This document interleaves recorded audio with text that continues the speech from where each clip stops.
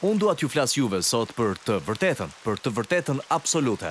Më kujtohet kur unë isha një besimtar i ri, unë e pranova Jezusin dhe Ai e ndryshoi jetën time. Edhe unë lutesha, kaloja kohë vetëm me Perëndinë në lutje dhe pastaj unë lexova Biblën dhe i mësoja shkrimet përmendësh dhe oh, Fjala e Perëndisë, Bibla ishte aq e pasur dhe e vërteta që unë mësova, ndërsa studioja Biblën. Më ndihmoi mua të rritesha dhe të bëhesha personi që unë jam sot. Edhe unë zbulova një gjë në gjithë ato vite, se ka një të vërtetë absolute këtu. Më kujtohet që kisha një profesor në universitet dhe profesori më tha, çdo gjë është relative, nuk ka asgjë që ti mund të dish që është absolute.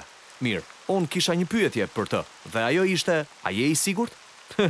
Sepse nëse ju jeni të sigurt se nuk ka asgjë absolute, atëherë nuk mund të jeni të sigurt për këtë sepse kjo është absolute. Kështu, dëgjoni, ky është një lloj argumenti i çmendur që njerëzit ngrenë dhe unë nuk dua të hyj dhe të merrem me këtë argument fare sot. Unë thjesht dua të ndaj me ju se ka një të vërtetë të madhe, të mrekullueshme në Bibël. Psalmisti tha, Fjala jote është e vërteta, dhe ndërsa ju lexoni Biblën, ajo që do të shihni, është se është e vërtetë. Janë disa gjëra absolute për jetën tuaj, disa gjëra që janë absolutisht aty. Për shembull, Bibla thotë, kur flet për të vërtetën, aty thuhet, Po të themi se jemi pa mëkat, gënjejmë vetveten dhe e vërteta nuk Është në ne. E vërteta është kjo. Ju dhe unë, i kemi prishur gjërat. Ne kemi bërë rrëmujë. Të gjithë kemi mëkatuar. Të gjithë kemi dështuar. Asnjë nga ne nuk e ka përmbushur vërtet standardin e Perëndisë. Por ja e vërteta, e vërteta është se Jezusi tha, Unë jam udha, e vërteta dhe jeta. Jezusi është e vërteta, dhe kështu e vërteta absolute është se Jezus Krishti Është sigurimi i Perëndisë për mëkatin tuaj, për mëkatin tim, dhe kur ne e ndërtojmë jetën mbi këto të vërteta të mëdha, këto themele të mrekullueshme që janë hedhur mbi Fjalën e Perëndisë, ne po e ndërtojmë jetën tonë mbi disa gjëra që janë absolute.